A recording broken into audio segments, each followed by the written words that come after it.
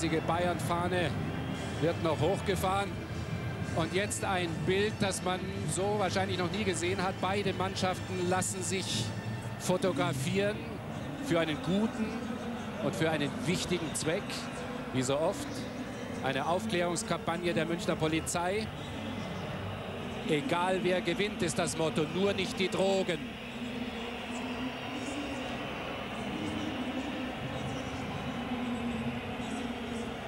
Ja, und diese Poster, die es dann geben wird, die wird man in Münchner Schulen zum Thema Suchtprävention an Jugendliche ausgeben. Also eine sehr gute Sache.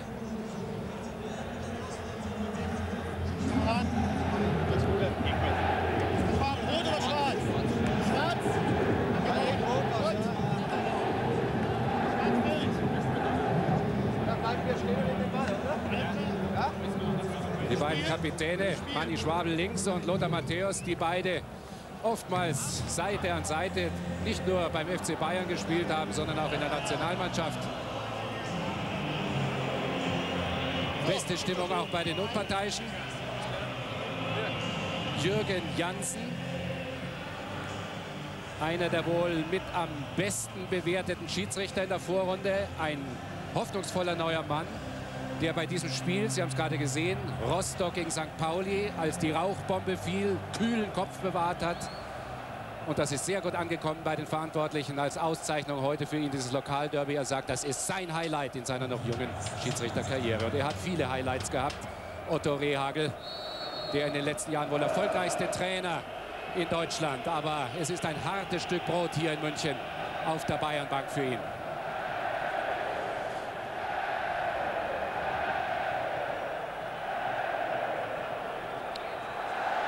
Noch ein Satz zum Rasen. Es hat gestern heftig geschneit, aber wie wir alle wissen, die Rasenheizung hat ihr Übriges getan. Man hat den Schnee heute Morgen weggeräumt, gewalzt und der Boden ist für diese Verhältnisse exzellent. Gar keine Frage, da gibt es überhaupt keine Entschuldigung. Gerade der Schiedsrichter hat es auch gesagt, er pfiff am letzten Wochenende in Kaiserslautern das Spiel gegen St. Pauli. Also er sagt, auch das ist im Vergleich dazu hier in München ein Highlight.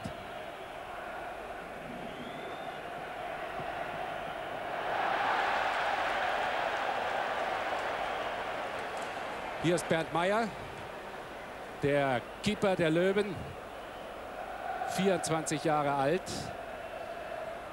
Kleine Unachtsamkeit hier gleich in der Anfangsphase und erste Ecken mit Mehmet Scholl für Bayern München.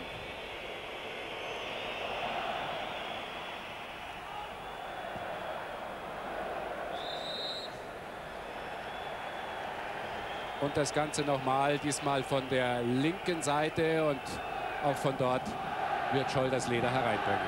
Franz Beckenbauer übrigens ist noch nicht im Stadion, steckt noch im Stau, wie der ein oder andere vielleicht auch. Die Verhältnisse auf den Straßen nicht ganz ideal, da braucht man heute ein paar Minuten mehr.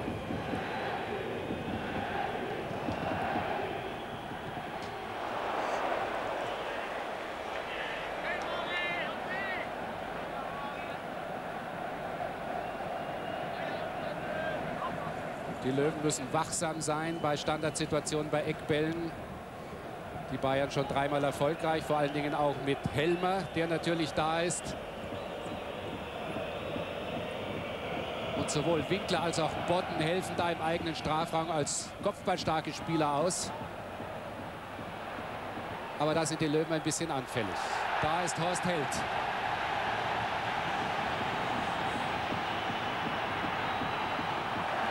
Gut gemacht von Matthäus.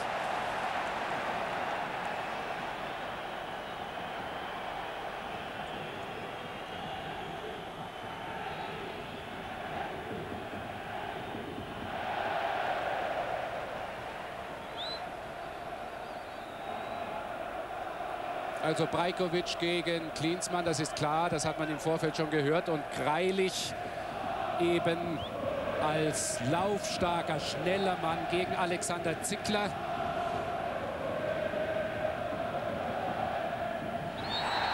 Und ein erster Freistoß für die Bayern, die also zunächst einmal die Initiative übernommen haben. Aber wir haben bei Held vorher schon gesehen, die Löwen wollen sich hier natürlich überhaupt nicht verstecken. Im Gegenteil, sie wollen kreativ nach vorne spielen.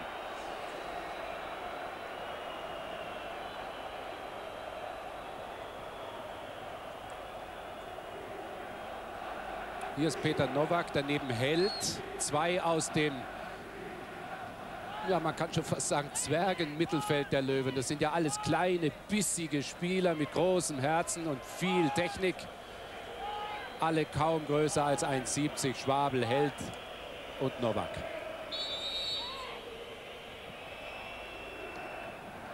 Auf Abseits gestellt hier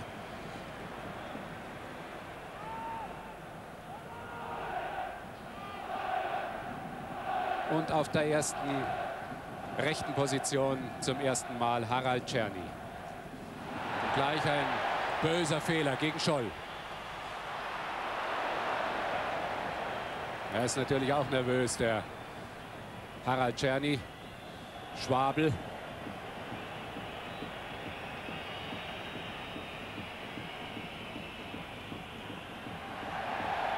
Sauber getackelt von Bubble gegen Winkler. Das ist eine Konstellation und die andere dann natürlich Helmer gegen Bodden. Wird sicher interessante Kopfballduelle auch geben. Wie man überhaupt äh, davon ausgehen muss, dass es ein Spiel mit viel Kampf sein wird, mit Einsatz. Die Spieler werden sicher sehr lange Wege gehen müssen heute.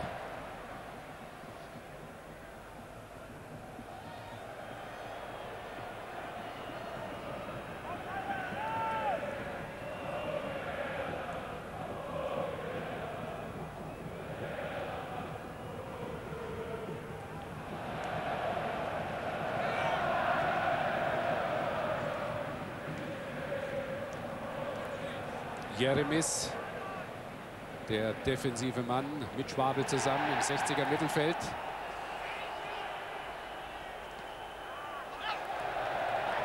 Novak löst gut auf.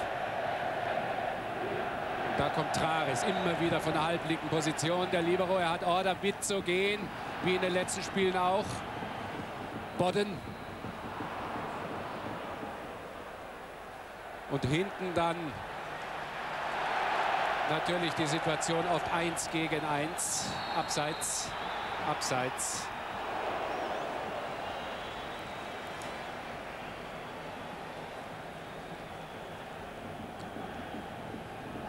Ein Abwehrspieler und noch einer mit Frei und Kreuzer, ein Mittelfeldspieler mit Herzog und ein Stürmer mit Kostadinov. Das sind neben dem Ersatztorhüter Scheuer die fünf Mann, die Otto Rehagel für die Ersatzbank nominiert hat. Da hat er also für jede Lage etwas zur Verfügung. Und jetzt ist Klinsmann da und wir haben ersten Mal und er ist drin.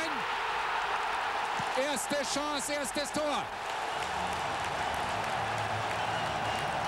Treffer Nummer 8 für den Nationalspieler Jürgen Klinsmann nach 6 Minuten und 25 Sekunden. Ein super Start für den deutschen Rekordmeister. Beim Abspiel kein Abseits. Und der Ball war für Bernd Meyer wohl nicht zu halten. Der Pass vom Linksfüßer von Christian Erlinger. Ideal gespielt. So will das Jürgen Klinsmann. So will er, dass man ihn bedient, dass man seine Torgefährlichkeit fördert. Und das ist natürlich einerseits für die Roten ein Traumstart und ein Schock auf der anderen Seite für die Löwen.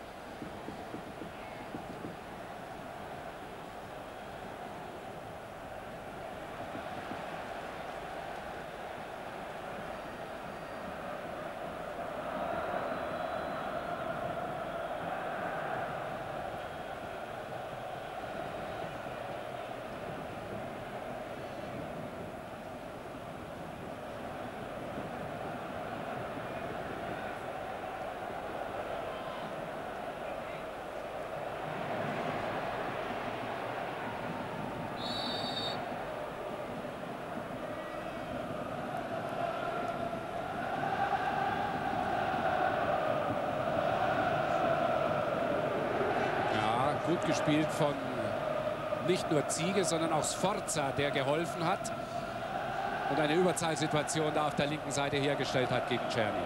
Ja, jetzt werden wir sehen, ob die 60er wie in Stuttgart auch nach dem frühen Rückstand weiterhin ihre Strategie verfolgen, offensiv spielen oder ob sie den Bayern ins Messer laufen.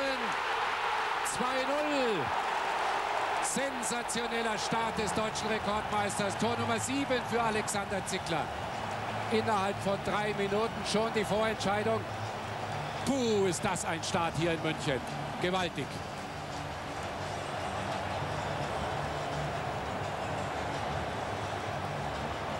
Völlig konsterniert der Keeper, der kaum etwas zu tun bekommen hat. Beide Bälle, die aufs Tor kamen, waren drin. Und jetzt werden viele sagen, mein Gott, warum hat Lorand und vielleicht auch sein Präsident wird diese Überlegungen haben, warum hat der Trainer den Abwehrverbund verändert?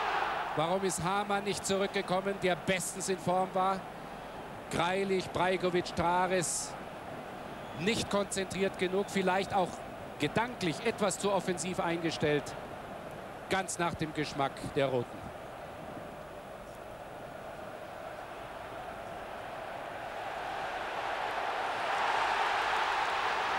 Unglaubliche Lücken auf der linken Seite.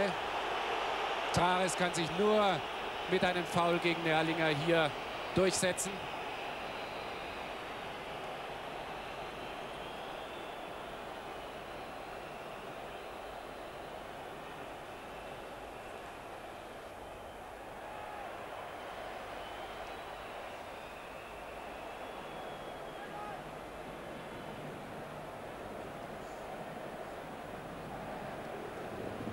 Für die Bayern läuft Oliver Kreuzer hinter der Bank ein paar Runden. Ich weiß nicht, was das bedeuten soll. Vielleicht hat irgendjemand signalisiert, da zwickt es wo. Aber sonst läuft für die Bayern alles bestens. Sie haben die Chance zu einem dritten Tor. Ideal für einen gut angesetzten Freistoß, die Distanz.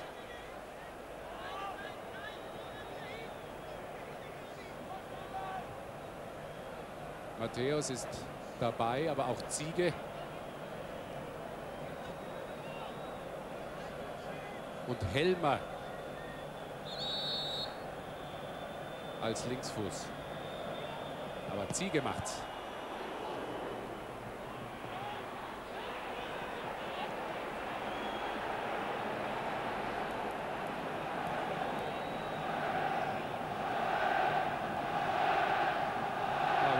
Diskutiert mit seinem äh, Assistenten, mit Roland Kneißl. Aber was soll er jetzt noch machen? Mehr denn je muss weiter nach vorne gespielt werden. Es hat gar keinen Sinn, jetzt zu sagen, sichern wir ein bisschen mehr ab nach hinten. Die Mannschaft muss konzentrierter spielen und muss die ganz kleine Chance, die vielleicht noch da ist, nutzen. Mit kreativem Spiel nach vorn, mit viel Laufarbeit, mit Einsatz. Aber das hatte man sowieso vor, hier mit einzubringen in dieses 20. Bundesliga-Derby zwischen Bayern und 60.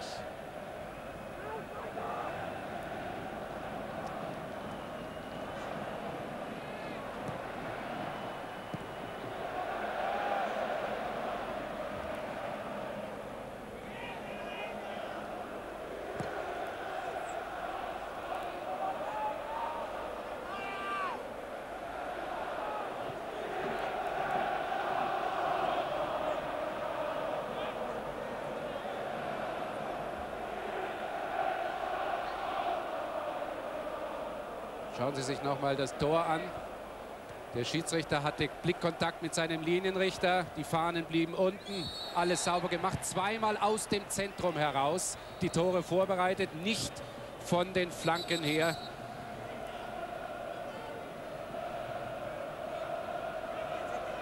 Ja, der schnelle Zickler. Greilich war nicht zu sehen. Greilich, der ja der schnellste Löwe ist mit der Nummer 15. Er sollte diesen Zickler bändigen, wenn der mit Tempo kommt aber er hatte überhaupt keine Chance, überhaupt einmal in einen Zweikampf mit dem Junioren-Nationalspieler zu kommen.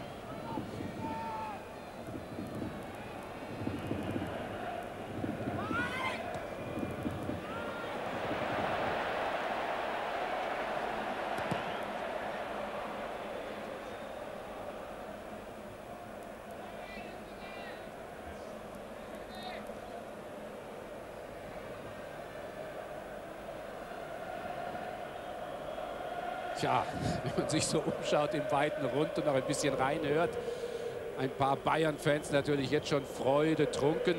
Franz Beckenbauer ist gerade gekommen, schaut auch ganz verwirrt nach rechts und nach links, kann es gar nicht begreifen.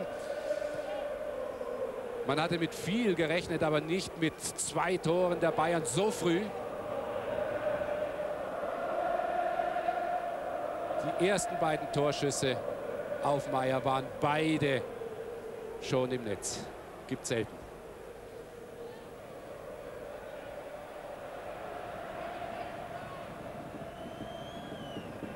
Czerny gegen Ziege. Lorand wollte den Österreicher gegen den Nationalspieler auf der rechten Seite setzen, weil er sagt, er kennt den Ziege. Der Ziege hat uns in den letzten Lokalderbys so viele Probleme gemacht. Und Czerny ist im Vergleich zu Rüttlewitz vielleicht auch in der Defensive etwas stärker. Aber sehr nervös begonnen der Österreicher.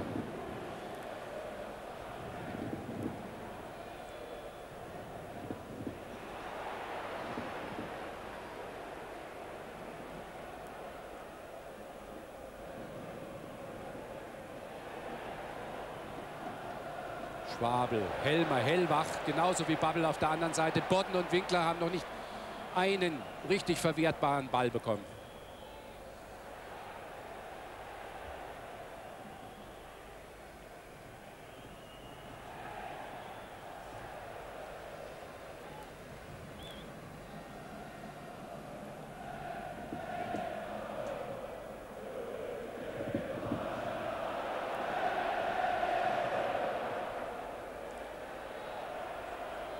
Foul.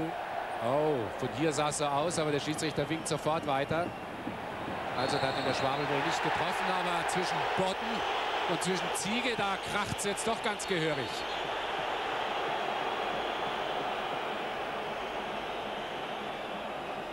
Ziege hat sich gleich verdrückt.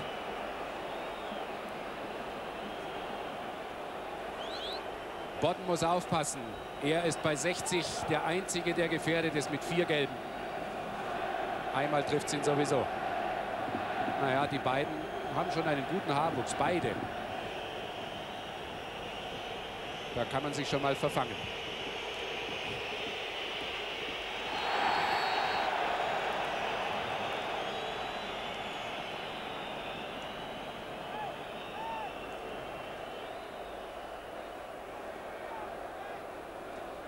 Thomas Strunz hält wie gewohnt die rechte Seite. Mit großer Übersetzung ausgestattet. Naja, hat man sich beim Gegner gedacht, dann nehmen wir den Held dagegen. Mit kurzen, schnellen Haken kann er sich vielleicht dort durchsetzen, aber beim Spielstand von 0 zu 2 aus Sicht der Löwen denkt man jetzt auch nicht an die kurzen Haken. Da will man erst einmal wieder tja, sich normal bewegen können, versuchen mal eine Chance zu bekommen in diesem Spiel. Abseits angezeigt.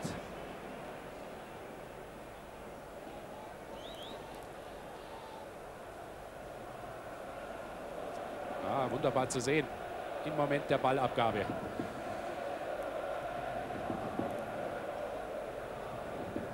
Dr. Thiemer, der Zahnarzt aus Wattenscheid, an der Linie. Könnte auch Augenarzt sein. Hat alles im Griff.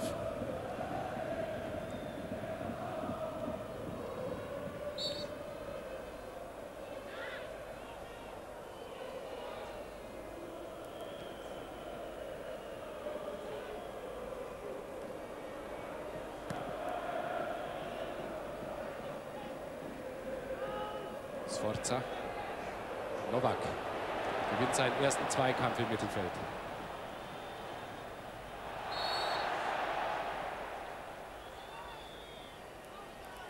Heute Geburtstag, 26 Jahre alt. Jeremis.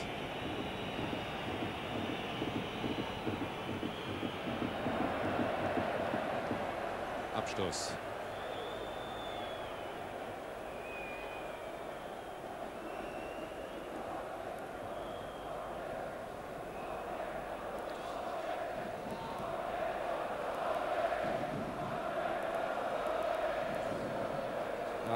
Werner Lorand, der steht auf diesen Jens Jeremis. Er sagt, der spielt, wie ich früher gespielt habe. Einsatzfreudig, kämpferisch. Dem ist kein Weg zu weit.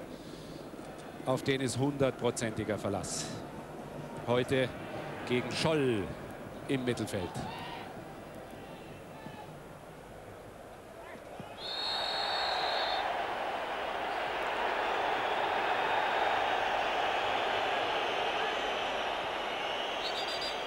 Von den Lippen ablesen, dem Thomas Helmer. War doch faul.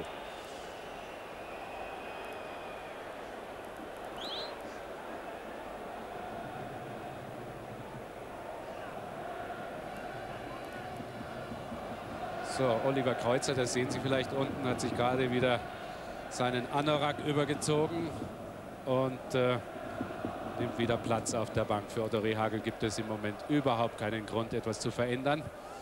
Bei Werner Lorand wird im Kopf einiges im Moment vor sich gehen. Er wird sich überlegen, was kann ich machen, wie kann ich ein neues Signal setzen, vielleicht mit einer frühen Auswechslung. Er muss vielleicht wechseln, sonst gibt es hier ein Debakel. Alexander Zickler nach einem katastrophalen Fehler. Die Löwenabwehr so schwach, so anfällig wie nie zuvor in dieser Saison. Nach 20 Minuten ist schon alles vorbei hier in München für die Löwen. Holger Greilich. Sein erster Einsatz von Beginn an in dieser Saison. Da ist Horst Held. Und jetzt kommt das Missverständnis mit Bernhard Trares. Und ein super Tor, technisch wunderbar gemacht von Alexander Zickler.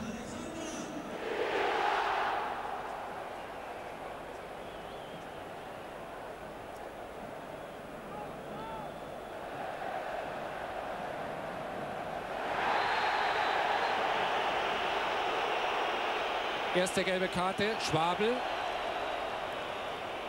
Nach diesem Einsatz gegen Scholl. Noch einmal diese fatale Szene der Löwen mit Held und mit Trares. Und Zickler, schauen Sie mal, wie er das macht. Ähnlich wie Scholl in Uerdingen. Er wartet, er wartet ganz lang und lupft den Ball dann sauber ins Netz. Das verlangt Otto Rehagel neben dem kämpferischen Einsatz auch die kleinen Schmankerl für die Fans. 3-0 für Bayern.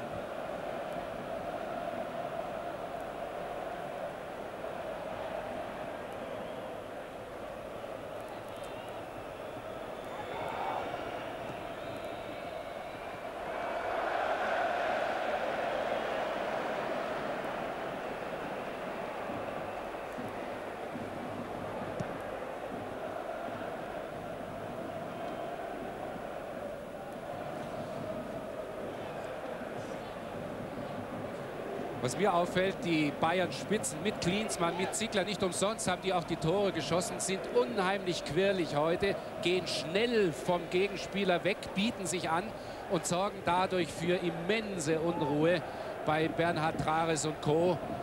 hinten im Abwehrverbund. Also das ist gar nicht zu begreifen im Moment, was da abläuft, dass sich die Löwen dermaßen kalt hier haben erwischen lassen.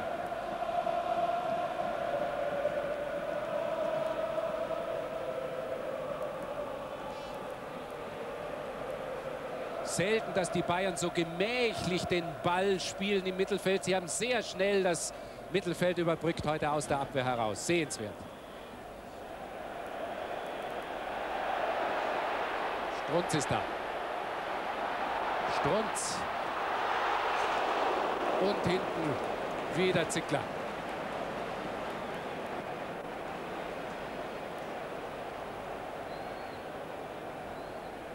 Tja, die Löwen sind viel zu weit vom Mann weg. Das ist ja genau das, was man den Bayern überhaupt nicht gestatten darf.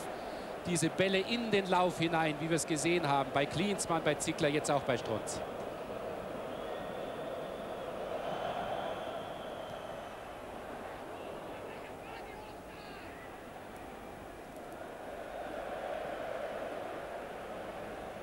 Max Merkel, der Meistertrainer von 1966. Was waren das für Derbys damals mit den, mit den Alten und auch mit den Jungen damals, die Bayern mit Beckenbauer, mit Nafziger, mit Brenninger und mit Müller. Tja, alles offensive Leute, von Ridlewitz über Borimirov bis zu Dove und Hamann.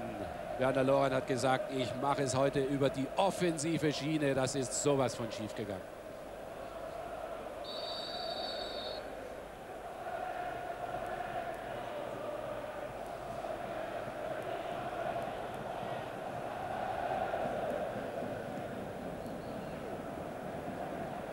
Vielleicht kann man den Max Merkel gerade noch mal, das passt ganz gut, zitieren. Er hat gesagt im Vorfeld dieses Derbys, wenn die Löwen glauben, sie können mit den Bayern mitspielen, kriegen sie eine auf die Nuss. Und so war es auch. Die haben gedacht, na, die Bayern, die werden nicht ganz so zweikampfstark sein, wie man das vielleicht in Oerdingen gesehen hat. Wir sind spielerisch plötzlich viel, viel besser geworden. Da können wir locker aus der Abwehr heraus kombinieren.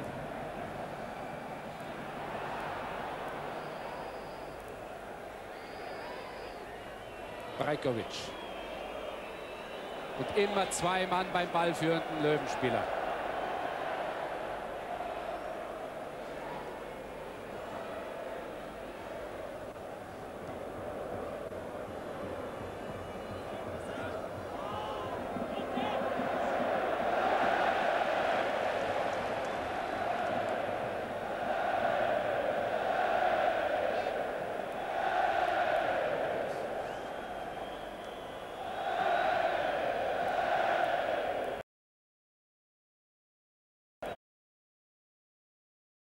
Sforza, der heute so kämpferisch eingestellt ist, der aushilft.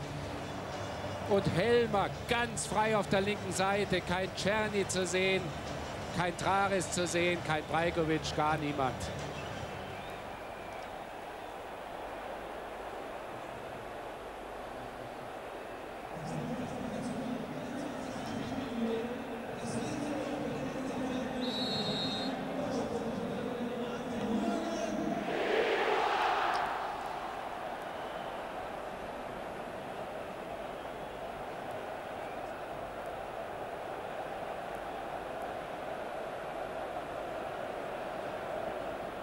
Also das ist auch eine schlimme Situation für einen Torhüter. Er hat ja, mehr als fünf oder sechs Bälle hat er nicht bekommen in diesen ersten knapp 30 Minuten. Und ich glaube, der muss immer wieder mal auf die große Tafel raufschauen, um zu begreifen, was eigentlich los ist. Wie ein böser Traum heute für Bernd Mayer.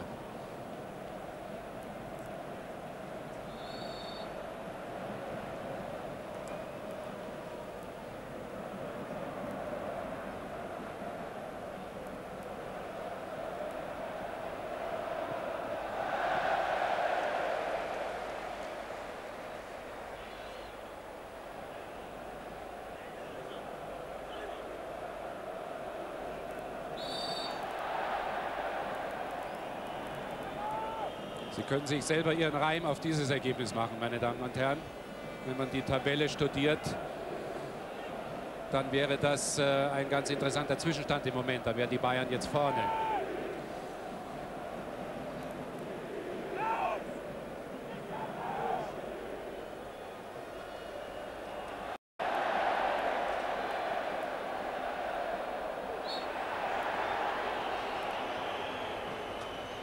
Otto Rehagel weiß das natürlich nicht, aber wir haben nachgeschaut. Wann haben die Bayern in einer ersten Halbzeit schon mal vier Tore erzielt? Ja, da muss man blättern. Das war vor zwei Jahren im Meisterjahr gegen den MSV Duisburg.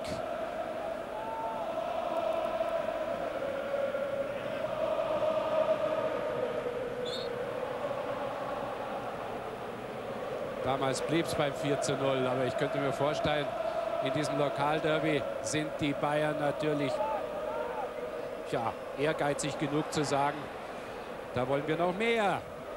Dann haben wir ewig Ruhe.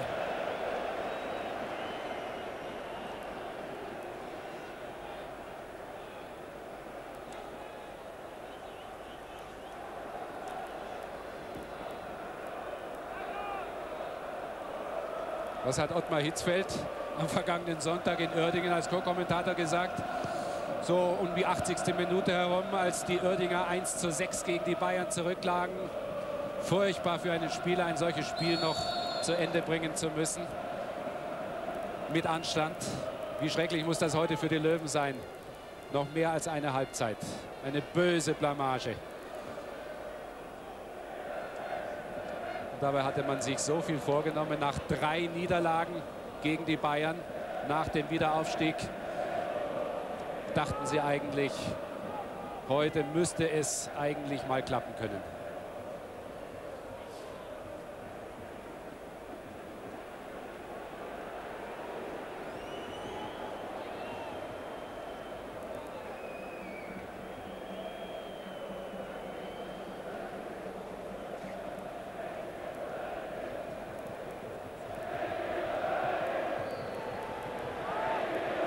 Winkler hält.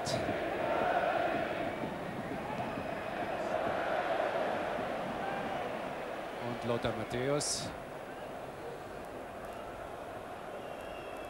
Der eine Menge Derbys natürlich bestritten hat. Nicht nur hier in München, sondern auch im San Siro Stadion mit Inter Mailand gegen Milan. Genauso wie Klinsmann. Die sind natürlich Derby erprobt. Kennen diese ganz prickelnde Atmosphäre eines solchen Spiels ganz genau. Ja, und der Schiedsrichter animiert den Bayern-Kapitän, den Fans zu sagen, ruhig Blut, keine Gegenstände auf das Feld. Keine Schneebälle, keine Wurfgeschosse.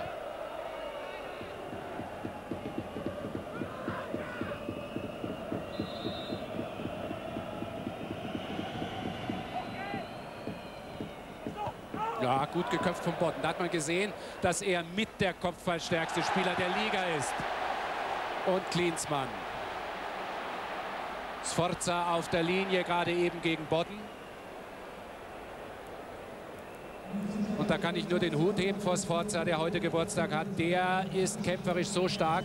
Der macht genau das, was Rehagel von ihm will. Er ordnet sich unter. Er geht die weiten Wege, er kämpft er arbeitet für die anderen mit.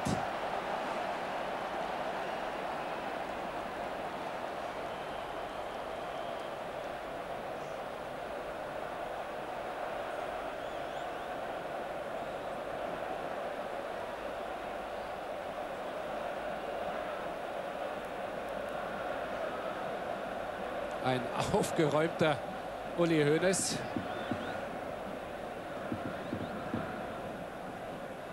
So schnell kann es gehen, liebe Fußballfreunde. Vor zwei Wochen 1 zu 4 gegen Karlsruhe. Da dachte man, um Gottes Willen, alles ist aus. Diese Mannschaft kann überhaupt nicht mehr deutscher Meister werden. Und im Moment, im Quervergleich zu Dortmund, sind die Bayern wieder vorn.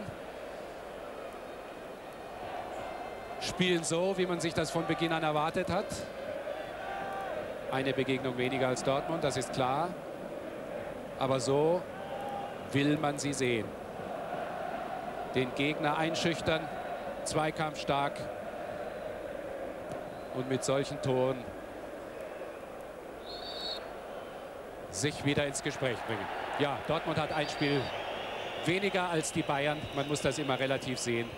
Aber wie gesagt, wir wollen da nicht zu viel spekulieren. Ich wollte Ihnen einfach nur sagen, wie schnell es im Fußball, wie schnell es im Sport gehen kann.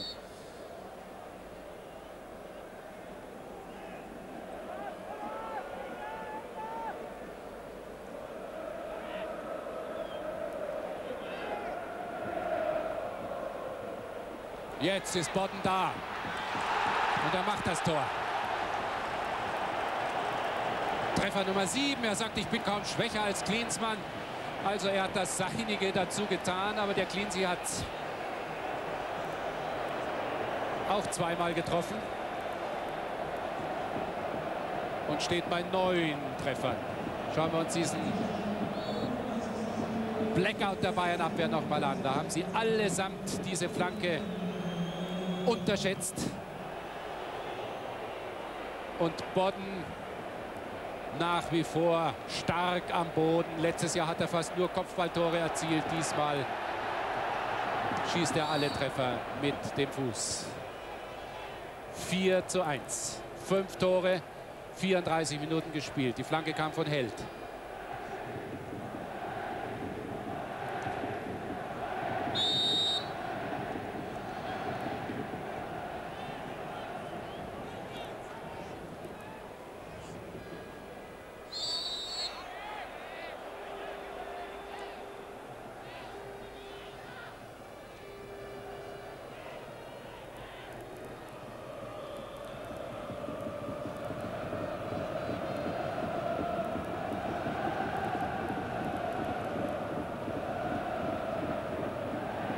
Greilich.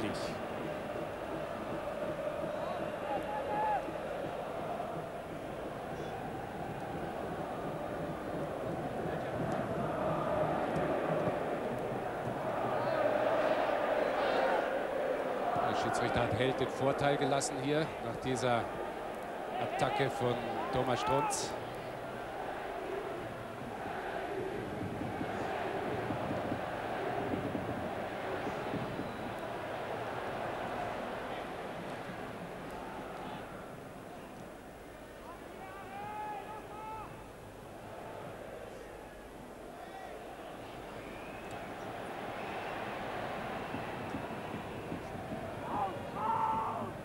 Winkler.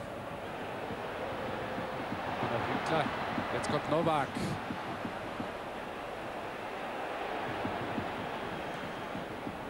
Wieder hält.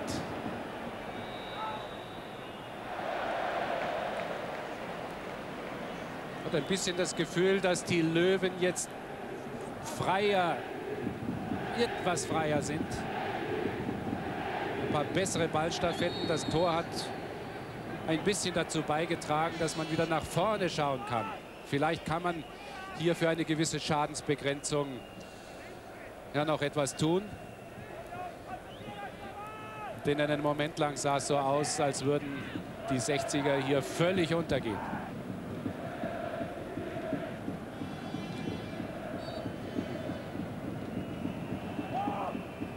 Wieder Bodden gewinnt fast jedes Kopfballduell aber der Ellbogen war dabei.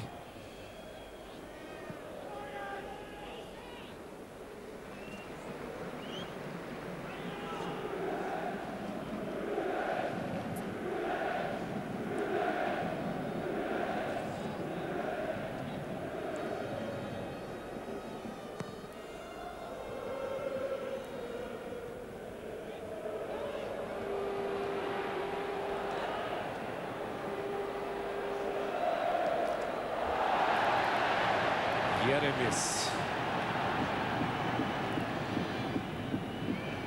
Novak. Und wieder Lothar Matthäus. Einer ist immer dran am Polen. Entweder Nährlinger oder Sforza oder Matthäus. Peter Novak bisher natürlich überhaupt nicht im Spiel.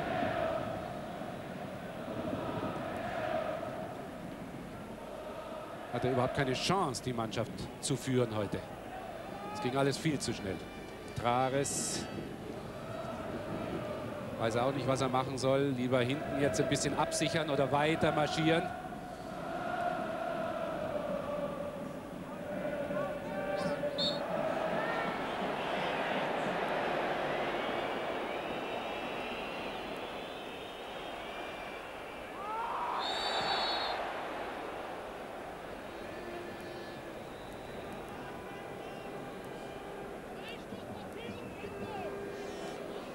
Jens Dove und Matthias Hamann, während wir hier Winkler und äh, Lothar Matthäus, die beiden Franken im vertrauten Gespräch erleben.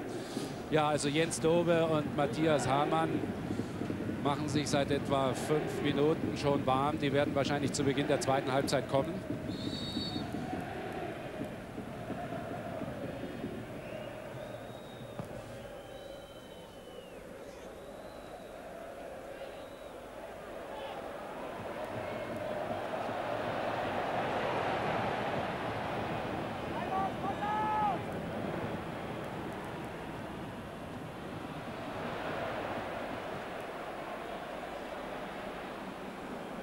Brajkovic letzter Mann im Moment.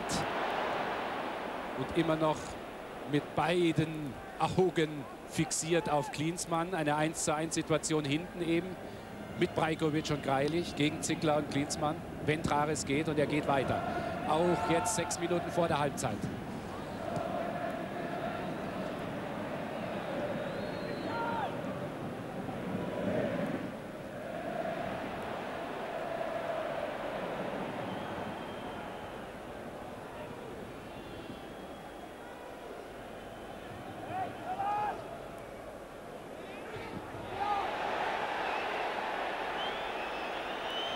Babbel und Bodden im Zweikampf, im Luftkampf Kampf an der Strafraumgrenze.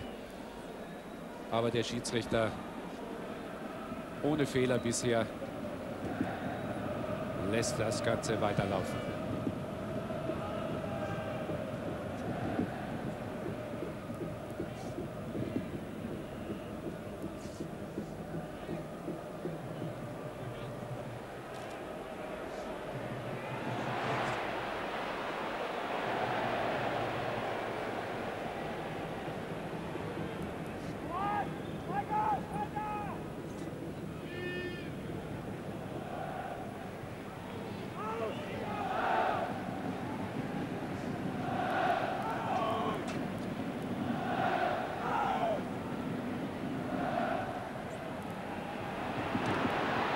Beste Szene mit Harald Czerny. Doppelpass zuvor mit Manni Schwabel. Der Österreicher, der, wie viele wissen, bei Bayern begonnen hat, bei den Amateuren, bei Hermann Gerland und auch ein paar gute Spiele in der Profimannschaft gemacht hat. Schnell, einsatzstark. Er soll René Riedlewitz in der nächsten Saison auf der rechten Seite ersetzen. Der Berliner muss zurück nach Leverkusen, ist nur ausgeliehen. Erich Ribbeck möchte ihn für Bayer wieder in der Mannschaft haben.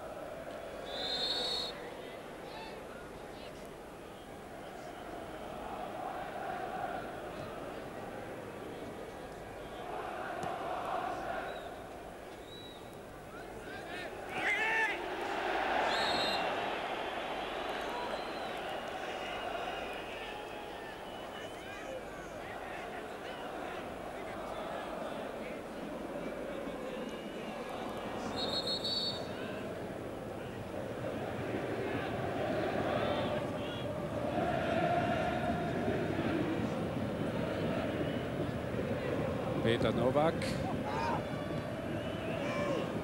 und Oliver Kahn. Immer wieder kleine Nicklichkeiten. Bodden ist immer wieder dabei. Der ist giftig. Und jetzt gibt's Rot. Für Oliver Kahn. Ja, er begreift es gar nicht. Ich begreife es ehrlich gesagt auch nicht. Ich habe nichts gesehen. Von der oben kann man es nicht sehen, aber er muss nachgetreten haben. Etwas anderes gibt es gar nicht. Und jetzt gab es noch eine rote Karte, wenn ich das mitbekommen habe. Wohl für Klinsmann oder für Bodden. Unüberschaubar die Situation. Aber der Schiedsrichter wird es besser wissen. Und jetzt versucht Kahn, sich loszureißen von den Kollegen. Ein Bild, wie ich es in Erinnerung habe, bei Sepp Meyer bei einem Europacup-Spiel in Mailand, als ihn Bulle Roth umarmt hat wie einen Catcher, um ihn vor noch Schlimmerem zu bewahren. Oliver Kahn kann es nicht begreifen. Muss den Platz verlassen. Was für ein Derby. Hier kommt's. Ja, er hat ihn ein bisschen am Kopf erwischt reißt sich mehr oder weniger hier los, aber rot. Vielleicht sieht man es hier besser. Zunächst, naja, der Botten packt ein bisschen nach. Naja, er wehrt sich seiner Haut. Einem Torhüter muss man auch ein bisschen was zugestehen. Mir scheint das von den Bildern her, wenn ich das interpretieren muss, doch etwas zu hart. Es tut mir leid.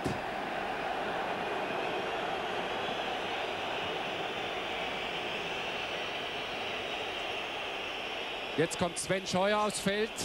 Olaf Bodden muss auch runter.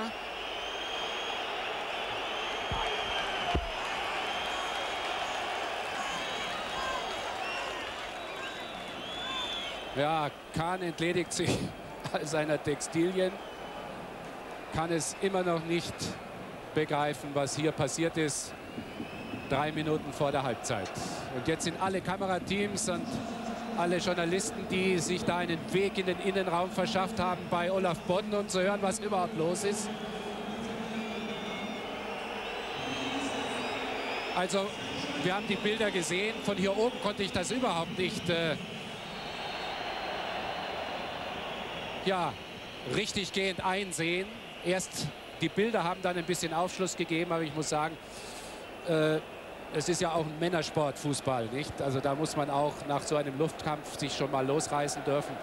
Eine Tätigkeit habe ich persönlich nicht erkannt. Mir scheint, dass der Schiedsrichter in diesem Fall vielleicht ein bisschen zu hart war.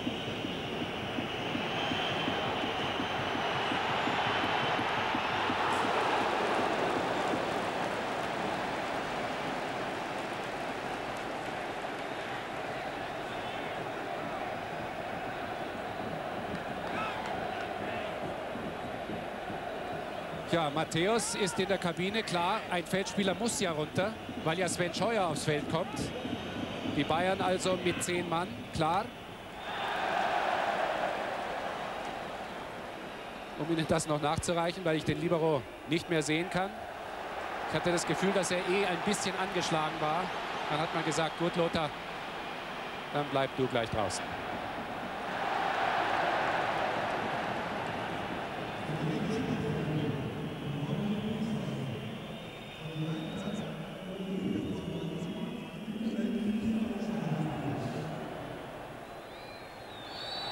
Also, liebe Zuschauer, ein Derby, das es wirklich in sich hat. Ein Blitzstart der Bayern. Die Löwen kalt erwischt eine erste Halbzeit wie ein böser Traum. Man kann durchaus sagen, ein Albtraum in Weiß und Blau. Vier Schüsse auf das Tor, alle vier waren drin. Zweimal Zickler, zweimal Klinsmann. Dann normalisierte sich die Begegnung ein bisschen. Die Löwen konnten ein bisschen freier atmen, ein bisschen kombinieren, kamen zu einem Tor durch Olaf Bodden und dann kurz vor dem Ende dieser ersten Dreiviertelstunde, die es wirklich in sich hatte, zwei Platzverweise, Oliver Kahn und Olaf Bodden. Und jetzt bin ich gespannt, was uns in der zweiten Halbzeit alles noch bevorsteht in diesem 183. Derby zwischen Bayern und 60.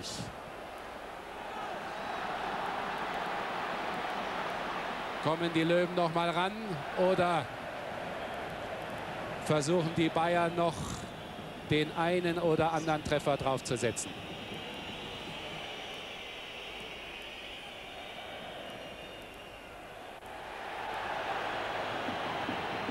Jeremis. Trares bleibt jetzt in der Schlussphase dieser ersten Halbzeit doch hinten, um abzusichern.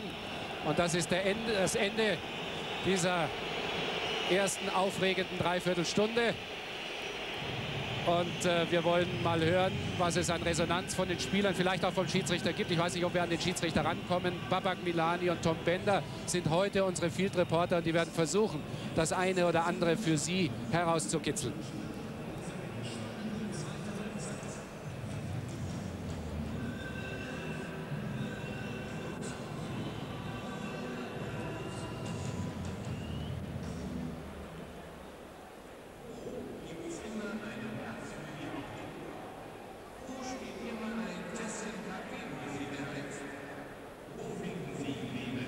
Aber genau habe ich es leider nicht gesehen. Das muss ich mir erst mal in der Aufzeichnung anschauen. Was haben Sie Olaf Borden in der Kabine gesagt? So gut, muss ich hier nicht wiederholen. Müssen Sie nicht wiederholen. Und was haben Sie der Mannschaft gesagt? Glauben Sie, jetzt geht ein Ruck durch die Mannschaft, jetzt erst recht? Wir sollen vernünftig weiterspielen. Ich mag keine Hektik am Platz. Äh, haben Sie das äh, Spiel schon abgeschrieben?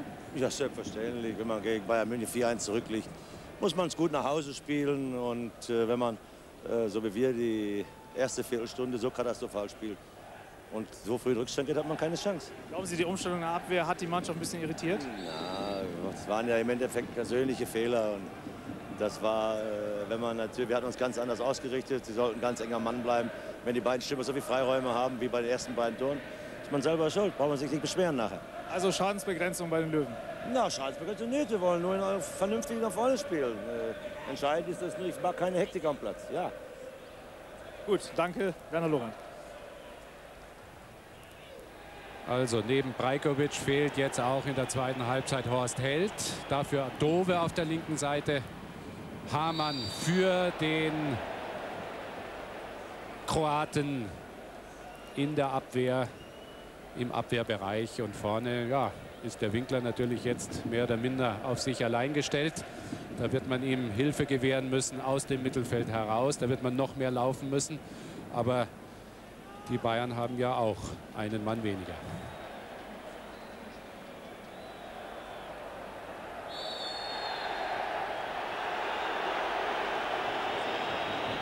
Schwabel, der Capitano, der kleinste mit 1,69, gibt die Richtung an.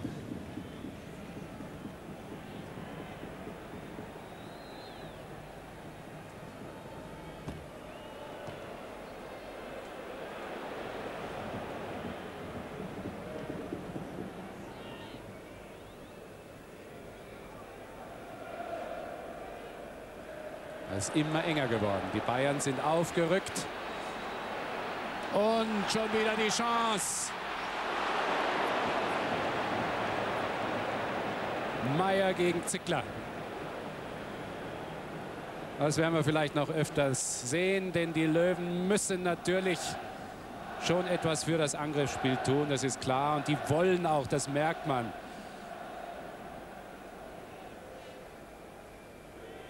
Und Zickler wartet nur darauf und der Klinsmann genauso.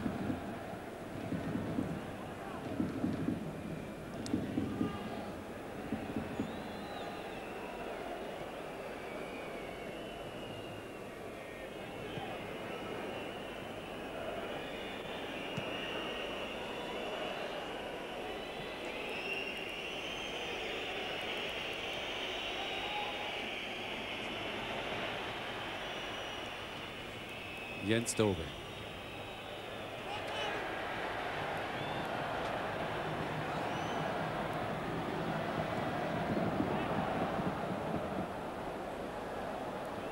Mitglied der legendären Rostocker 91er Mannschaft, die damals mit Uwe Reinders als Aufsteiger hier bei Bayern München 2 zu 1 gewann. Das hat ihn sehr beeindruckt damals, diese Kulisse hier. Und natürlich der Sieg. Und vielleicht denkt Jens Dove an dieses Erfolgserlebnis damals. Kapitän jetzt für die Bayern, klar nach dem Verzicht von Lothar Matthäus, Thomas Helmer.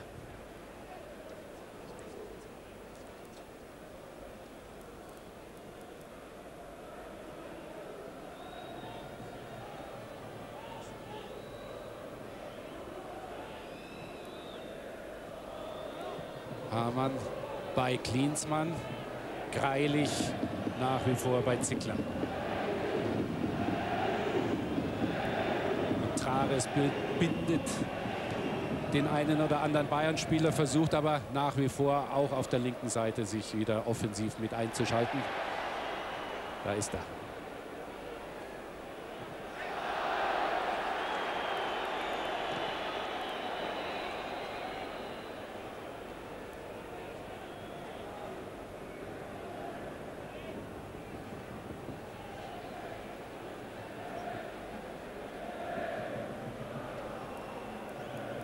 Die Löwen versuchen, Sicherheit zu bekommen mit solchen Ballstaffetten, die nicht viel einbringen. Aber der Ball muss ja mal ein paar Stationen durchlaufen.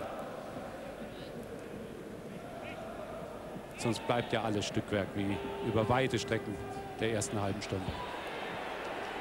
Helmer.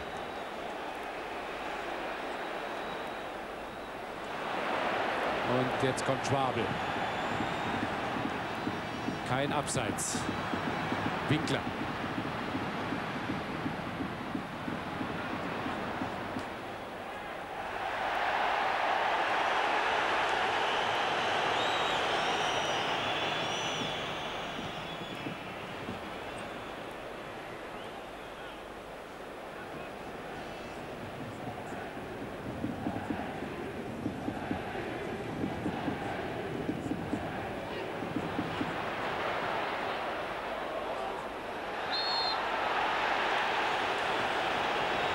Matthias Hamann.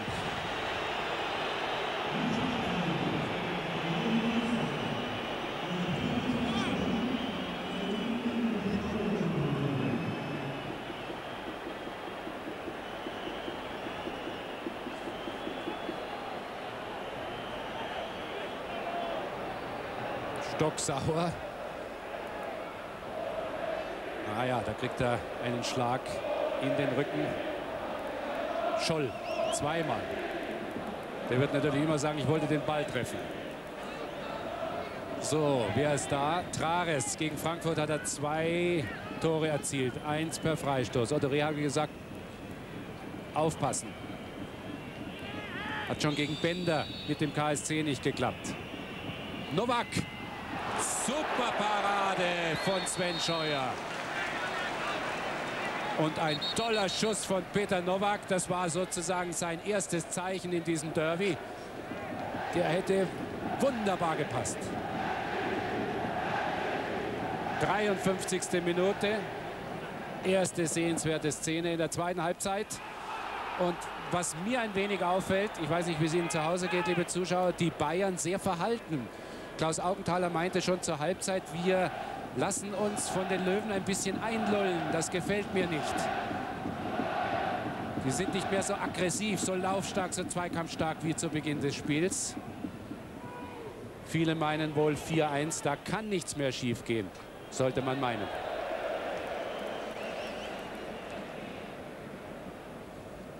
Otto Rehagel pfeift ein bisschen am Spielfeldrand, aber ich bin sicher, dass kein Spieler irgendetwas davon bemerken kann.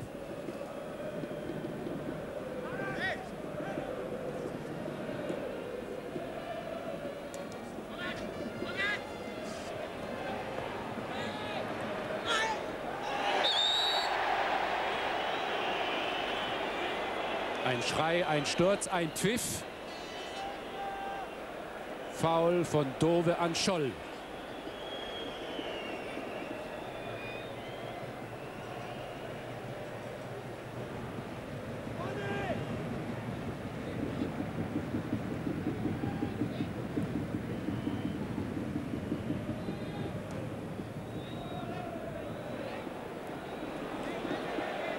Ganz interessant, in der Halbzeitpause kam der Vater von Oliver Kahn hier zu uns hinauf, zur Kommentatorenposition, um zu fragen, was denn zu sehen war im Fernsehen, ob er eine Chance hat, davon zu kommen.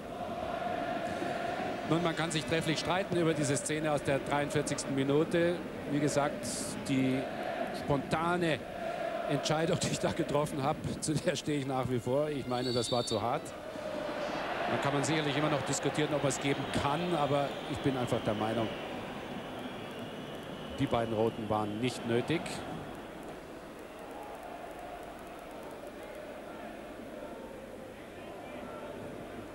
Aber Sven Scheuer, um bei Oliver Kahn zu bleiben, hat gerade eben gezeigt, dass er ein hervorragender Ersatzmann ist. Seit vielen Jahren bei Bayern München, vom Verletzungspech verfolgt. Hat nur 13 Spiele für die Bayern in der Bundesliga gemacht. Aber er ist ein super Torhüter und kann jetzt zeigen, was er drauf hat.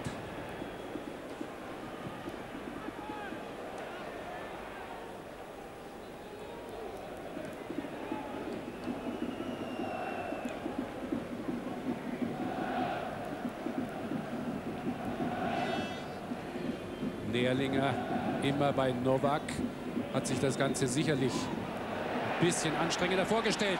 Für mich war es abseits.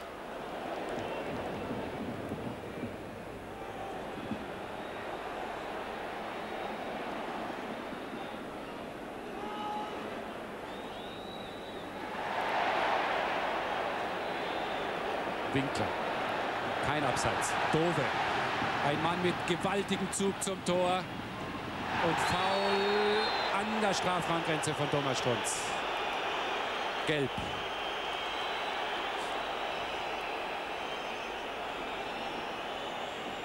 Ja, der Dove ist ein starker Mann. Viele meinen, ohne ihn hätte man die Klasse in der letzten Saison vielleicht gar nicht erhalten können. Sehr torgefährlich, sehr schnell, direkt an der Strafraumgrenze hier die Aktion mit Thomas Strunz.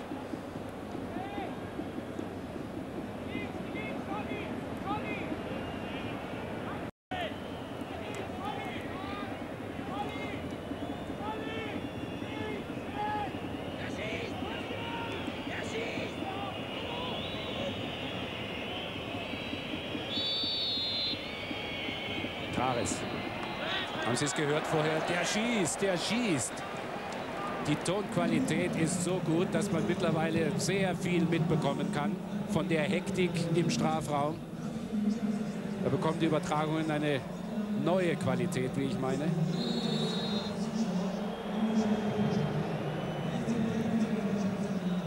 Wieder Dove. Man spielt jetzt viel über links. Ah, der lässt sich kaum ab. Kaum abschütteln. Da hätte man auch einen Freistoß für die 60er geben können.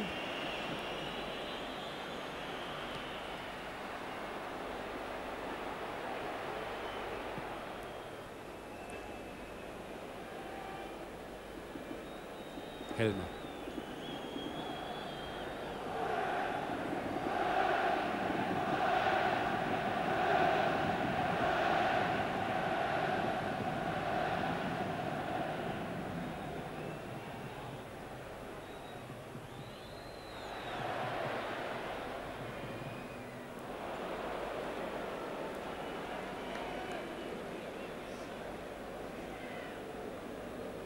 Zwei Platzverweise, sowas haben wir schon mal gehabt. Sogar drei im ersten Derby nach dem Aufstieg der 60er. Das war im August. Im September war es 94, 3-1 für die Bayern. Schwabel ging damals. Helmut Krug, sein Kollege, war damals der Unparteiische. Der FIFA-Schiedsrichter. Schwabel ging. Dann musste Winkler vorzeitig vom Platz und für die Bayern mit Gelb-Rot Christian Nerlinger man direkt mal kurz überlegen, bis man das alles zusammenkriegt. Das war auch ein ziemlich aufregendes Derby.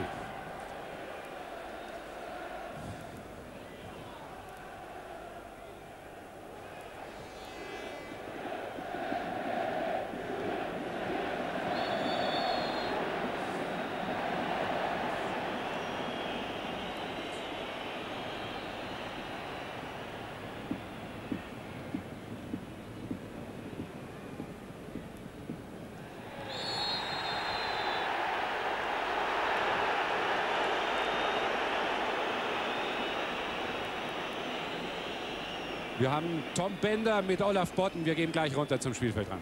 Ach. Ja, und wir haben die beiden Kontrahenten noch mal hier, mittlerweile friedlich vereint. Die haben kein großes Problem miteinander. Olaf Botten, wir gucken uns die Szene noch mal an. Sagen Sie was dazu? Ja, ich habe ja eigentlich äh, von keiner Seite irgendwie was gesehen. War eine Flanke und ich bin hingefallen. Wie haben wir es nochmal? Ja, der Oliver kommt raus, fängt den Ball. Ich halte ihn ein bisschen fest an der Hose. Fall hin. Und dann habe ich ihn nicht mehr gesehen. Aber so wie ich es in Erinnerung habe, war dann eigentlich nichts mehr. Hier haben wir die Reaktion ein bisschen von Oliver. Oliver, wie sehen Sie das? Ich glaube, die, äh, die, Bilder sagen, sagen alles. Im Endeffekt war da, über, war da überhaupt nichts. Äh, ganz normale Situation, wie sie, wie sie immer vorkommt. Da war keine Tätlichkeit, da war gar nichts. Und äh, natürlich schon ein bisschen traurig, wenn man so aus so einem aus so einem Spiel gerissen wird. Klaus Augenthaler hat eben gesagt, sowas darf beim Stande von 4-1 nicht passieren. Da darf man sich nicht so provozieren lassen. Sehen Sie das ähnlich? Wer hat sich provozieren lassen? Also Sie sehen überhaupt kein Verschulden Ihrerseits in der Szene? No, ich weiß nicht, was äh, bei dieser Situation, wo da irgendwo äh, was vorliegen soll. Es ist ein, ein, ein Zweikampf, wie er in der Fußball-Bundesliga bei jedem Spieltag vorkommt. Da ist keine Tätigkeit dabei, da ist überhaupt nichts dabei, was irgendwie was irgendwie äh, eine rote Karte nach sich. Aber es war klar zu sehen, dass sie das Knie zumindest angezogen haben. Ja, was heißt das Knie angezogen haben? Ich meine, äh, der Olaf Botten äh, stürzt auf mich drauf. Ich meine, wie soll ich denn dastehen? Olaf, wie sehen Sie das? Klarer Freispruch? Ja, sicherlich. Also ich sehe von beiden Seiten eigentlich überhaupt nichts. Und von daher kann ich es gar nicht nachvollziehen, warum der zwei rote Karten gegeben hat. Und das ist für mich eigentlich unverständlich gewesen. Es gab im Spiel auch vorher schon mal eine Situation, wo sie mit Sieger aneinander raten, auch nicht die feine Art gewesen. Die Haarszene meine ich. Das weiß ich jetzt gar nicht mehr, weil das spielt auch überhaupt keine Rolle. Ich sag mal, die Szene ist ausschlaggebend und da ist wirklich überhaupt nichts zu sehen. Olaf Borden, Oliver Kahn, vielen Dank trotzdem. So, danke Tom Bender für diese ersten Reaktionen der beiden Beteiligten. Vielleicht haben wir eine kleine Chance, dann nach dem Spiel auch noch mit dem Unparteiischen ins Gespräch zu kommen wenn er denn was sagen will. So, Eine gute Stunde ist vorbei. Spielstand nach wie vor zwischen Bayern München und dem TSV 1860 wie eingeblendet.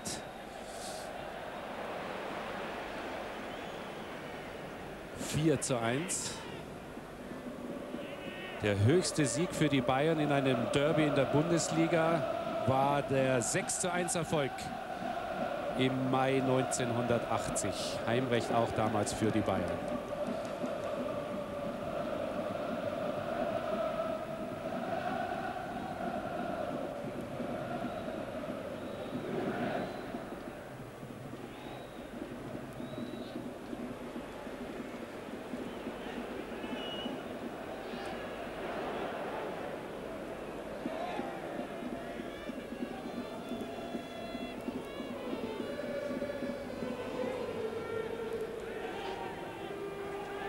Dove ist frei.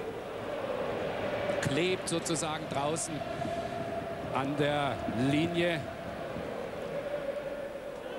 um den Mitspielern einfach die Möglichkeit zu geben, ihn anzuspielen.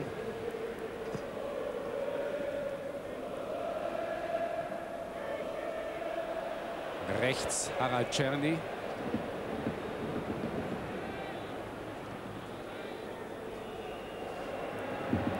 Jeremis. Und Winkler kommt. Winkler! Winkler 4 zu 2. Die Löwen, ja kann man sagen, sie sind wieder da. Tor Nummer 7 für den Franken in der 64. Minute. Und Sie sollten sehen, was hier bei den 60er-Fans los ist. Zum ersten Mal kann man die Fahnen so richtig erkennen. Da ist wieder Bewegung in der Nordkurve. Pass von Jeremis, der sich durchsetzt und Babbel kommt zu spät gegen Winkler. Er lässt ihm diese zwei Meter Raum, die er ihm nicht lassen darf. Denn der ist so kopfballstark, der Winkler. Der macht das Ding gegen Scheuer.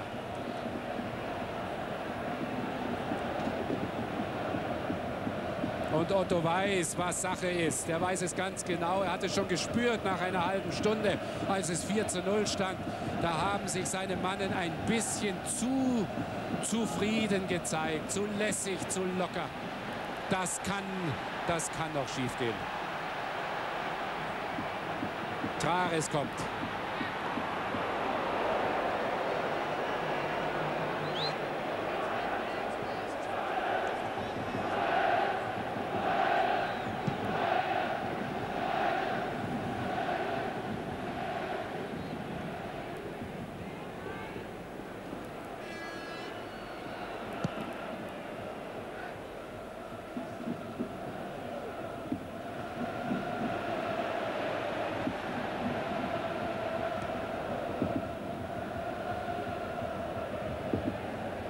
Die Löwen haben zu viel Platz. Da läuft gedanklich manchmal nicht alles zusammen, wie bei Trares in der ersten Halbzeit, jetzt bei Jeremis. Aber sie können kombinieren. Sie haben diesen Raum, den sie brauchen. Und den hatten sie in der ersten Halbzeit eben nicht immer. Und das liegt einzig und allein an den Bayern, die nicht aggressiv genug jetzt spielen. Hamann. Dove. Czerny ist da.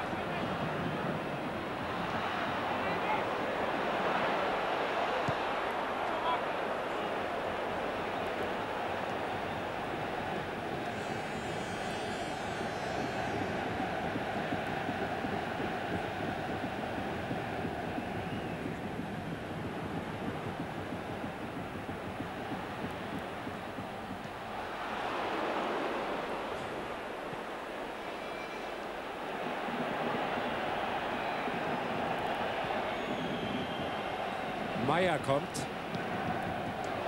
Sforza, er könnte es riskieren, der Schweizer. Klinsmann. Und Schwabel. Schwabel geht die meisten Wege, der Kapitän. Das sieht man im Fernsehen nicht so sehr, aber ich habe ein Auge auf ihn. Der Kapitän mit bestem Beispiel voran.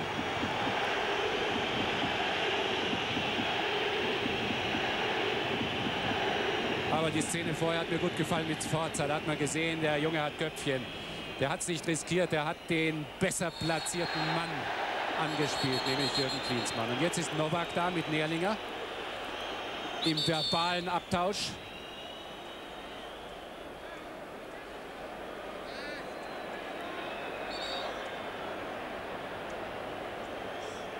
Nach diesem Foul von Christian Nierlinger an Hamann. Der muss ganz schön einstecken in dieser zweiten Halbzeit.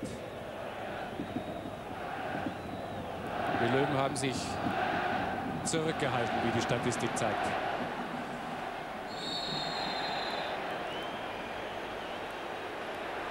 Das Spiel wird jetzt etwas härter.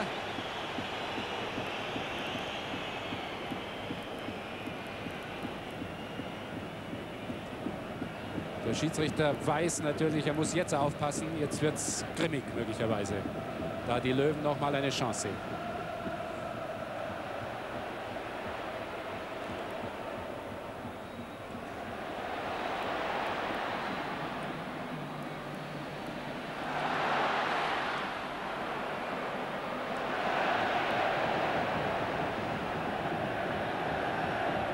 Gespielt von Trares, der nicht wiederzuerkennen ist im Vergleich zu den ersten Spielen dieser Rückrunde. Überragend gegen Frankfurt, super in Stuttgart, solide gegen St. Pauli. Davon ist heute wenig zu sehen.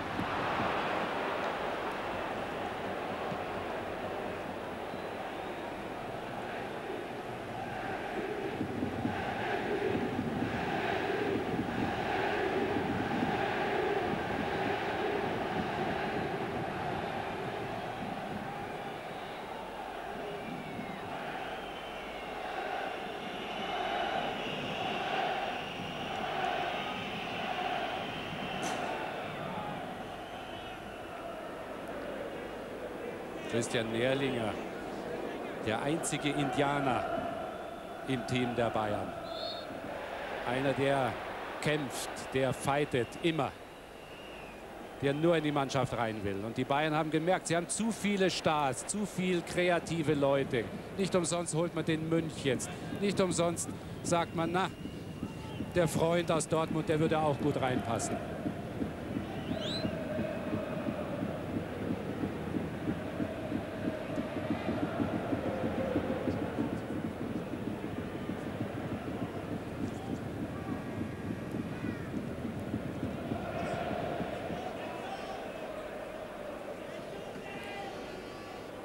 Oliver Kahn. Völlig konsterniert.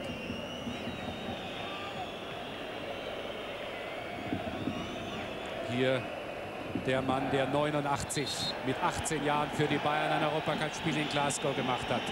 Ohne Bundesliga-Einsatz bis dahin, als Aumann verletzt war. Auf den kann sich Otto Rehagel verlassen, aber was ist mit den Abwehrleuten? Lothar Matthäus fehlt hinten, die ordnende Hand. Der ist in der Kabine geblieben. Und jetzt spielen sie manchmal in einer 1 zu 1 Situation gegen Winkler, gegen Novak und gegen Dove. Und da wird es ganz schön gefährlich. Christian Ziege hat ein Tor versprochen in diesem Derby. Im letzten war er erfolgreich. 2-0 damals für die Bayern, als die 60er auch gut mitspielten. Die Bayern cool, lässig auf ihre Chance warteten und dann zweimal sehr schnell reagierten. Zunächst durch Ziege und später dann noch durch Zickler. Durch, äh, wie war das? Durch äh, Helmer, glaube ich. Nach einem Einwurf von Zickler.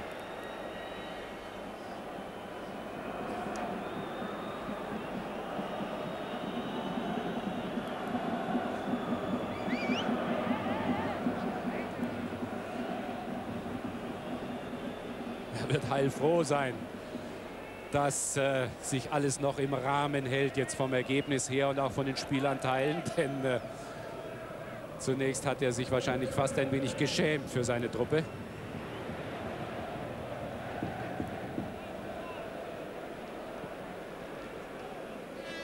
die so großartig begonnen hat nach der Winterpause mit drei Siegen en suite und wenn man den Erfolg gegen Gladbach im Dezember noch dazu nimmt, dann vier Erfolge hintereinander. Plötzlich ein einstelliger Tabellenplatz.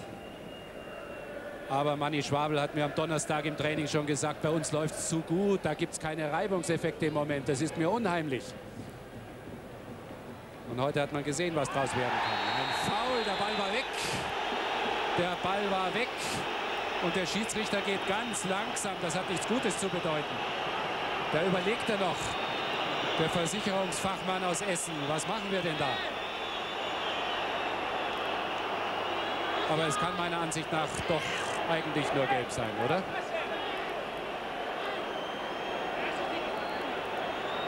Wenn überhaupt.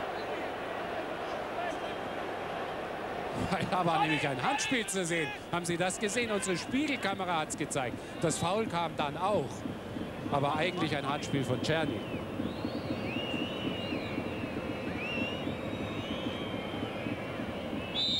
Hätte der Linienrichter eigentlich sehen müssen.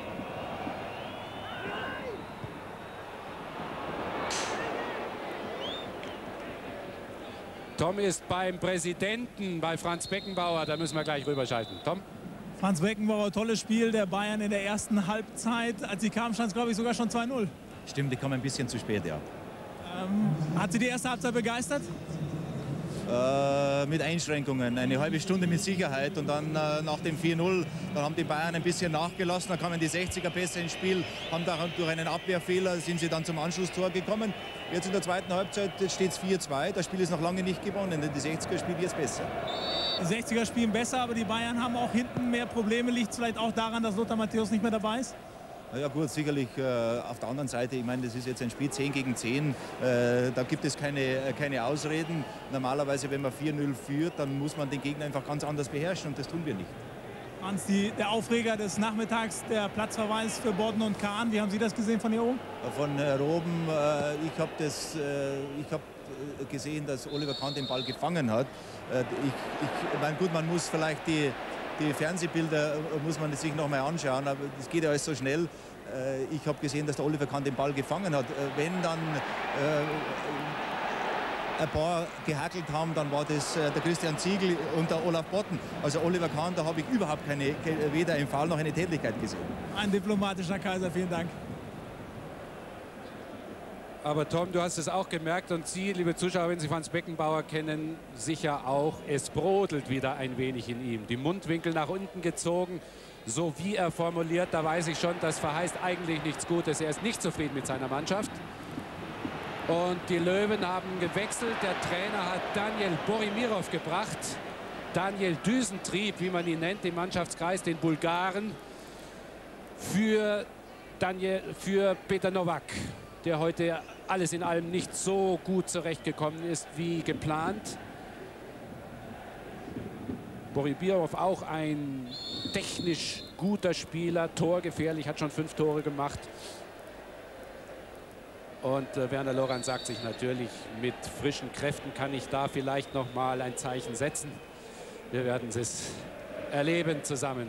Er lässt sich auf jeden Fall zunächst mal, das hat er auch verdient, ein Zigarettchen schmecken.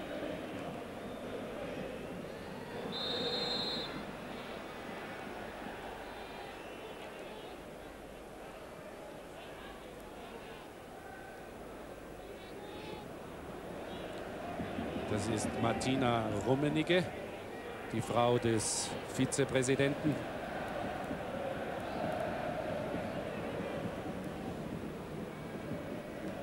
Ja, gut gespielt von Jeremis. Da ist wieder Dove. Sehr belebend, der frühere Rostocker. Jederzeit gefährlich, wenn er von der linken Seite die Bälle nach innen bringt.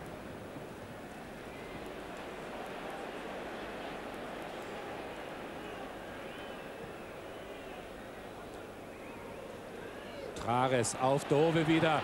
Strunz ist nicht zu sehen und Nährlinger hat jetzt ausgeholfen. Also das ist eine Chance noch für die letzten 15 Minuten aus Sicht der Löwen mit dem frischen Mann, der ja vor Einsatzfreude sprüht, das muss man sagen. Ein guter Wechsel. Scholl war wenig zu sehen von ihm. Foul von Schwabel hat schon gelb. Es wird gefährlich für ihn. Der Schiri weiß das.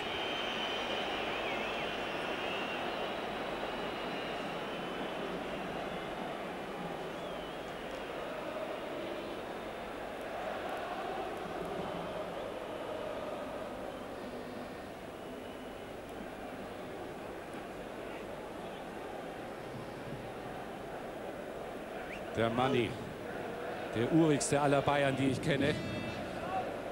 Man kann ihn kaum verstehen, wenn man des Bayerischen nicht mächtig ist, aber ein hervorragender Spieler. Und die Bayern mit Helmer. Und da hat sich eigentlich der Jeremis ein bisschen verschätzt. Und deshalb gab es auch diese gefährliche Situation für die 60er.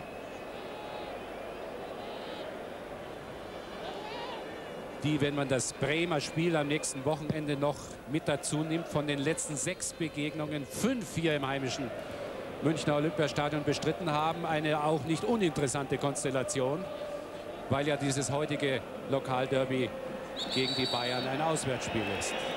Aber sie haben ihre Chancen soweit genutzt. Heute gibt es möglicherweise doch einen Rückschlag, denn die Bayern führen nach wie vor mit 4 zu 2.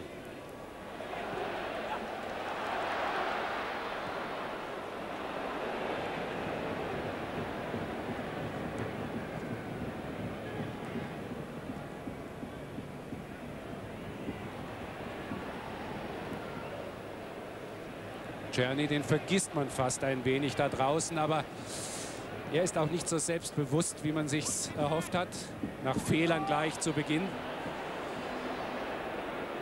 Also versucht man es lieber über die linke Seite.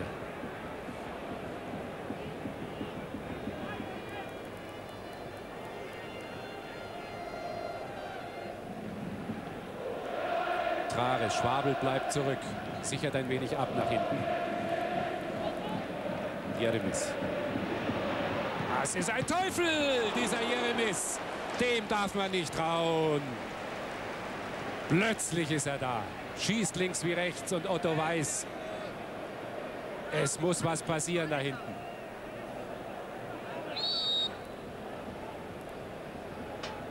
Super Szene mit beiden wieder. Auch mit Sven Scheuer.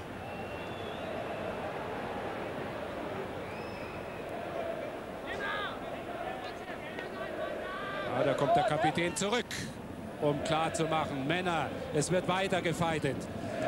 Wir wollen den Sieg nicht gefährden.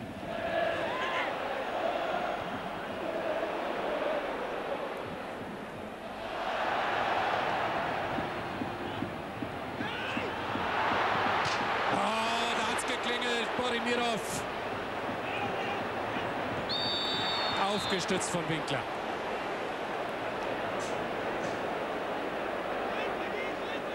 Dove auch dabei. Aber wir sehen es noch einmal. Der Ball von Dove. Und äh, hier kommt Bodimirov. Er ist fast passiert. Fast das 4 zu 3. Mein Gott. Und das zehn Minuten vor Spielende. Nicht zu glauben. Die 60er waren mausetot. Ganz kleine Zwerglöwen waren das nach 20 Minuten. Aber diese Mannschaft ist natürlich mittlerweile aus einem Holz geschnitzt. Nicht mehr zu vergleichen mit anderen 60er-Mannschaften. Da wird gekämpft, da wird gefeitet. Da sind charakterstarke Spieler mit drin. Und die Bayern sind ihnen entgegengekommen. Das ist gar keine Frage.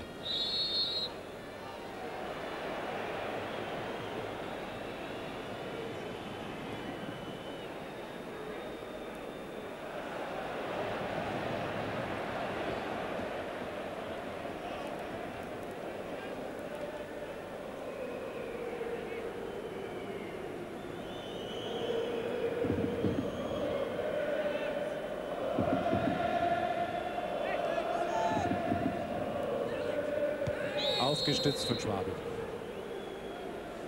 Aber Sie merken schon, wo es brennt, ist der Schwabel. Ich möchte nicht wissen, wie viele Kilometer er runtergeradelt hat.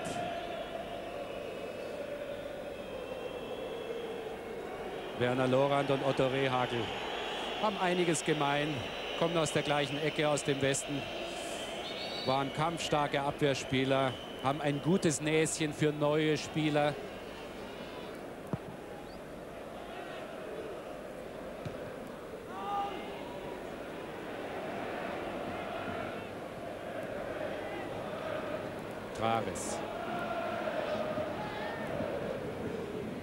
Borimirov wollte den Ball. Oh, harter Einsatz, sehr, sehr harter Einsatz von Matthias Hamann gegen Scholl, dem sie ein bisschen den Zahn gezogen haben. Achtung, es gibt eine Karte. Oh, oh, oh, Borimirov geht ihm an die Brust. Das hat der Schiedsrichter gar nicht gern. Gelb. Er saß gerade nach fünf Gelben eine Sperre ab, aber das gehört zu seinem Spiel. Der ist giftig, der ist robust und auch ein guter Fußballer, ein wichtiger Mann für die 60er.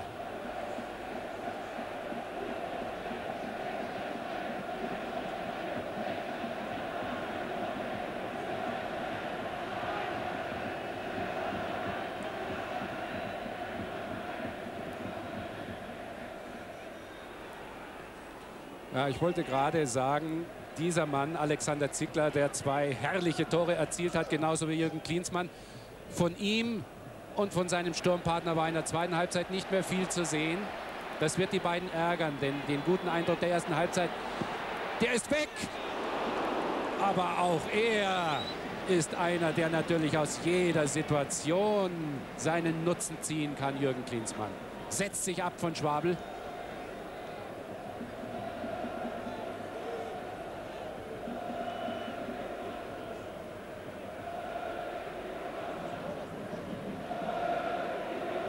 Tolles Spiel in der ersten Halbzeit, aber in der zweiten hat er keinen Ball gesehen. Viel zu wenig zumindest für seine Verhältnisse. Er braucht einfach Bälle. Er muss gefüttert werden.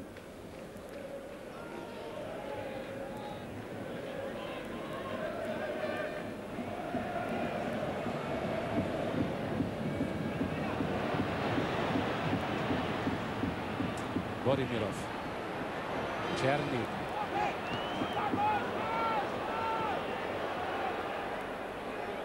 Die Löwen sind jetzt sehr offen hinten. Die haben nur Schwabel und auf der rechten Seite Greilich.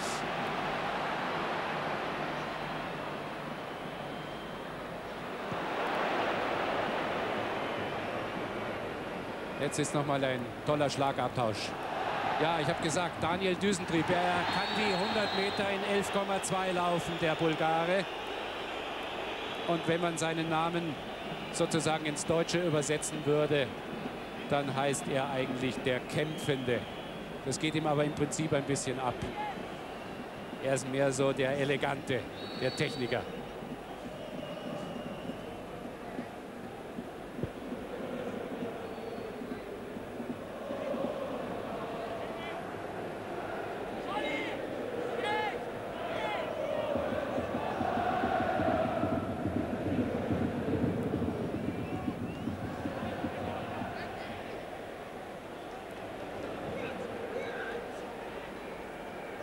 Das neue Tandem, Matthäus und Rehagel, stecken die Köpfe oft zusammen und versuchen jetzt von außen klar zu machen. Es sind noch fünf Minuten. Nährlinger. Herr Strunz war's.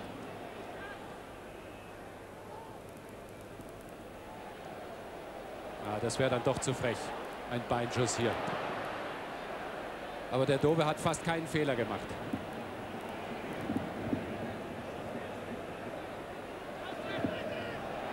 Jetzt kommt Travis. Oh, gegen Stuttgart hat er ein Tor gemacht. Genau aus dieser Position heraus. Bernhard Winkler.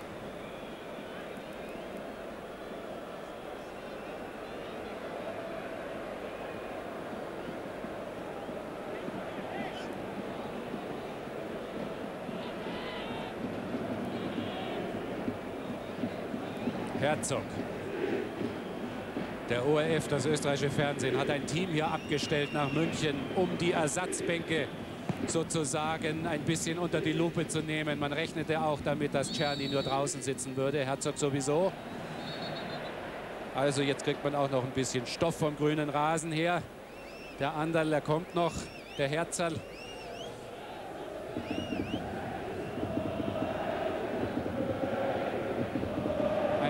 taktischer Wechsel wohl von Otto Rehagel, wie man so schön sagt, um vielleicht auch noch ein bisschen Zeit zu gewinnen. Das wird den österreichischen Nationalspieler gar nicht freuen. Jetzt ist schon so weit gekommen. Abseits.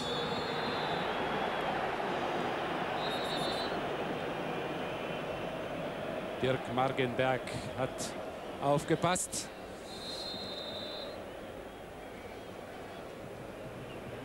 Und hier ist Herzog.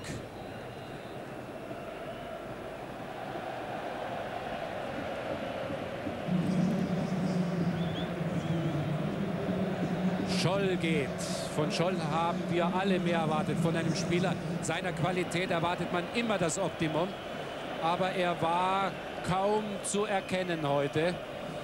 Man hat ihn schon ein bisschen gesehen, so ist es nicht. Aber das ist ein Mann, der Tore schießt, der Tore vorbereitet, der Akzente setzt.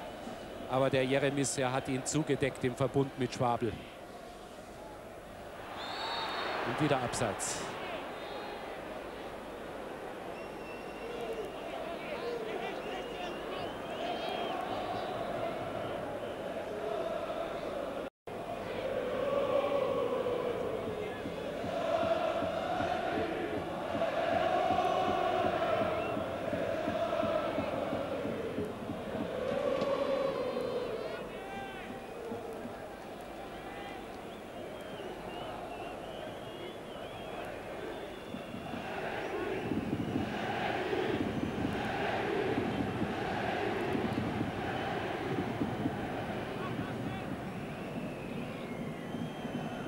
Harald Czerny.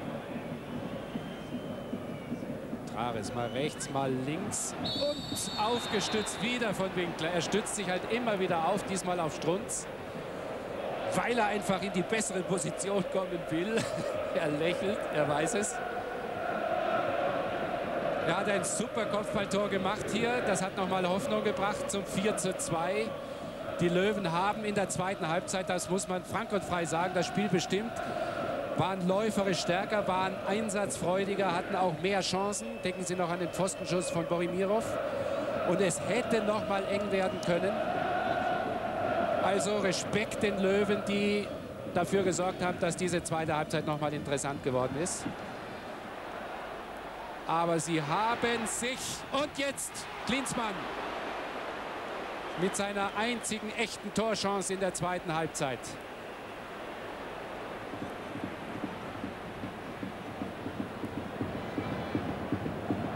Ja, aber sie haben sich, habe ich gesagt, die Löwen nicht unterkriegen lassen in der zweiten Hälfte.